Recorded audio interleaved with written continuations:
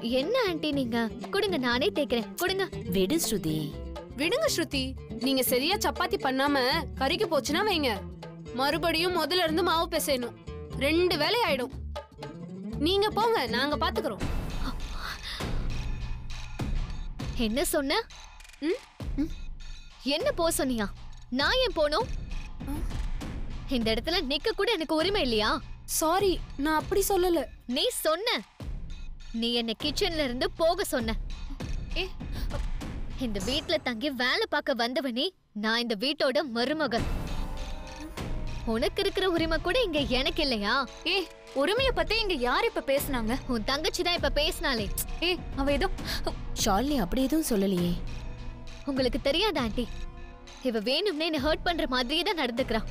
உங்களை ஹர்ட் பண்ணணும்னு எதுவும் சொல்லல. அப்படி உங்களுக்கு தோணிருந்தா சாரிங்க எல்லாம் நீ தெரிஞ்சுதான் பண்ற. தெரிஞ்சுதான் என்ன ஆன்ட்டி முன்னாடி கிச்சனை விட்டு வெளியே போக சொன்ன. ஹே ஸ்ருதி. அக்கா. சரி அப்படியே சொன்னாலும் என்ன தப்பு?